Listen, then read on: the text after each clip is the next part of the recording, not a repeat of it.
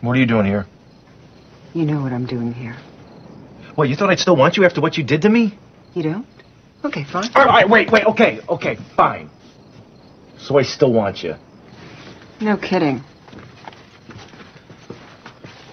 But don't you ever cheat on me again. Ever. Ever. Okay, fine. I mean it. Because if one day you happen to notice some gorgeous girl giving you that let's screw around look, just remember, she may be working for me. All right, fine. But you, no more conning. No more.